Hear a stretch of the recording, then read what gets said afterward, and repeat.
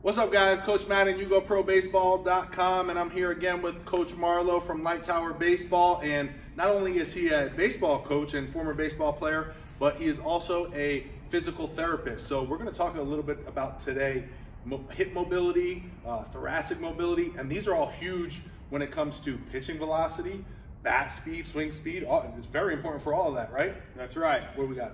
So, like John said, hip mobility, thoracic mobility, there's a direct correlation between that and velocity, okay? Or how hard you can throw the ball, how fast you can throw the ball. Also, there's a correlation between hip mobility and the rate or of UCL tear. So the tighter your hips, okay, the more likely you are to have a UCL tear just because the, helps, the hips help decelerate the arm. So if you don't have the hip mobility, the elbow, the UCL, is taking the brunt of it, trying to slow the arm down, which can lead to a UCL tear. So as a physical therapist, I'm gonna show you how we assess hip mobility because you know a lot of velocity programs, they talk about hip mobility and we're gonna show you how to assess hip mobility and also thoracic mobility. All right, so as a physical therapist, I'm gonna show you how we assess hip mobility, okay, which doesn't, matter, doesn't really matter if you're in the clinic or on the baseball field, the way we assess it is still the same. So I'm gonna have you lie down, legs out straight, and I'm just gonna have you relax. So first thing I'm gonna assess is we'll go glove side leg. So I'm gonna come on over here since he's a righty thrower. I'm gonna bend the knee up to 90 degrees, which is even with his hip. And then to measure internal rotation, I'm focused on which way the knee moves, okay, not the foot. So with internal rotation, I'm gonna bring him here. So he's pretty tight there, okay? He's at about 35 degrees, okay? Normal is about 45, okay? So that's internal. Now I'm gonna measure external, okay? So once again, pretty tight, okay? And he's just relaxed the whole time okay? And I can also use this as, as a treatment to stretch hip mobility. Now I'm not gonna crank on him, okay? Tell me, do you feel a little bit of a stretch there? A little bit. Okay, tell me when. I'm good. Okay, and then I'm just gonna hold that, okay? Okay, and then when I assess his throwing arm, same thing. I'm gonna bend that knee up, okay, other leg out straight. Remember, I'm focused on the knee, so I'm going to turn it in. Okay, I'm just rotating on that knee. A okay. little bit mo more mobile over here. Feel stretch? Mm -hmm. Okay. And now I'm going to go external rotation. A lot more mobile this way. And once again, if you're going to do it as a stretch, you want to hold it, okay? And this is something great to do with pitchers before they throw. And a lot of times they can get up and throw a baseball and be like, wow, that feels way better. So why is hip mobility important for pitching or baseball in general? So the hip mobility, it acts as a accelerator and also a decelerator depending on which hip you're using. When we swing, okay, we've got to be able to have a firm front side and transfer the weight and get into this lead hip. Okay, so you can see the hip mobility that's required, okay? If a hitter has decreased hip mobility, which you'll see is actually riding up on that hip, okay? See the action? This action, which is a bad action or a weak front side, compared to that action, okay? So that's good for hip mobility.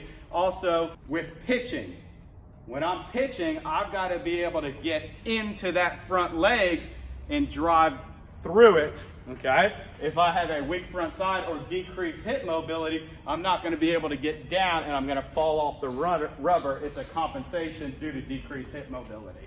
And I think pitching, at least for me, uh, is very similar to hitting too. I still wanted to pitch against that front side. I wanted to have a firm front side. I didn't want to, didn't want to be too weak. But also on the back side, I, I've noticed that, and I think this is maybe why I'm more mobile in my, in my uh, right leg than my left leg, is that I always wanted to keep my knee inside of my back foot, but also create that energy away from the rubber. So to do that, you really have to have some good hip mobility in here to get to this position where you're pushing out and not letting your knee stack over your foot. You'll see a lot of pitchers, even hitters, doing this when they try to push out. Their knee is getting stacked over their foot or going outside, they're coming this way.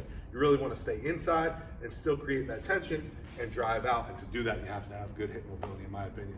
That's right. Right. So just the way we assess hip mobility, which direct correlation between hip mobility and velocity and also UCL tears. So what about thoracic mobility? Thoracic mobility, here's how we assess it. All right, so here's how we assess thoracic mobility, and I'm gonna do it on Coach Madden here. So basically I'm gonna have him sit somewhere where he can apply pressure, inward pressure with his legs and his thighs, okay, which is gonna lock in his hips. We don't want any rotation coming from the hips, the lumbar spine. We want it all to come from the thoracic spine. So he's gonna get in good posture, and then all I'm gonna ask him to do is I want you to squeeze in with your thighs to lock in your hips, and you're just gonna rotate to the left, okay? Good. And now I'm gonna rotate to the right. So you can see a lot more rotation to the right. Once again, to the left. Okay, a little bit better that time, and then to the right. So once again, this is a way we assess it, but it also can be used as an exercise. Okay, good. What is your thoracic spine? Like what part of the spine are we talking about? So the thoracic spine is you have 12 vertebrae that they're in the middle of your back, and the thoracic vertebrae are the ones that your ribs come off of. The thoracic vertebrae, they are good for rotation. So you have your cervical, your thoracic, and then your lumbar. Okay, the thoracic, once again, are for rotation, and that's going to help throwing. We need that rotation, which is going to help generate speed, force to throw the ball harder. Also, when I think of thoracic uh, spine, I'm thinking about posture too. Is that correct? Yes, yes. So very important what limits our rotation can be bad posture, like he said. If we're leaned over like this, so go ahead and grab the bat, set up in that same position, and let's just put you in a slouch position. Now I want you to go ahead and rotate. Oh, so yeah. you see how limit and you see how limited he is there. Okay, so as a pitcher or as a thrower, we don't want to be in this hunched over position when we go to throw. We've got to get big spine to get help get that good rotation or big chest. I hope you guys like this video. Don't forget to go check out uh, Light Tower Baseball. Leave all the information down below. And uh, we'll talk to you in the next video.